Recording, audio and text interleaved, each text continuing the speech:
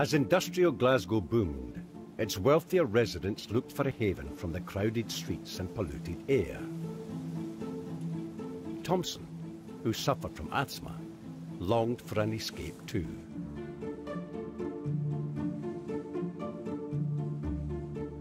Sea air and salvation came down the Clyde in newly fashionable villages like Cove and Kilcreggan.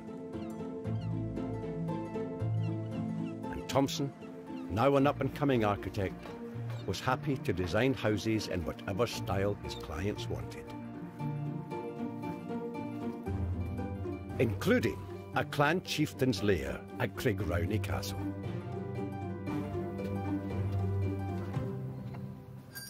I'm meeting its current owner, Deli Onaya. Hi, Deli. David. Hi, how are you? Lovely to meet Hi, you, Deli. uh, welcome. Please come in. Thank you. Thank you. We go. Right, David. Uh, this is the drawing room. Why, it's certainly not what I expected from a Thomson interior.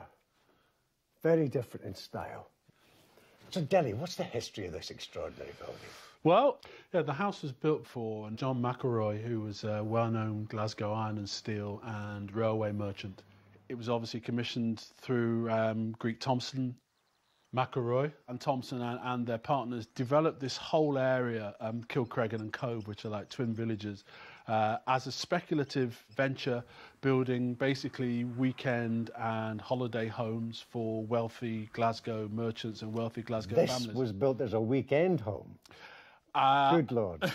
You've got to be joking. It's a castle. maybe if I can show you around a bit more, show you Yes, some of the other rooms and Yeah. let you see the different styles. This is the music room. The music room. Deli, there's a complete contrast to the drawing room you've just been in. Yeah. Chalk from cheese. Yep. So, what is it like as a family home?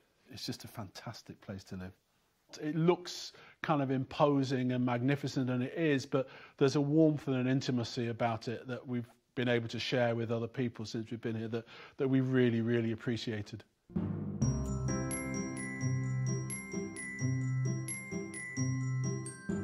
When it was built in 1854, Craigrownie was the height of architectural fashion.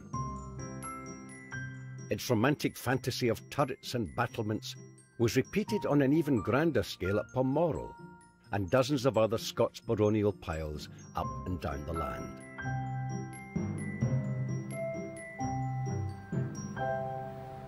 Thomson loved a monumental sense of scale. He loved rooting buildings on the landscape. Craigrownie, behind me, which seems to grow out of the rock itself, is a prime example.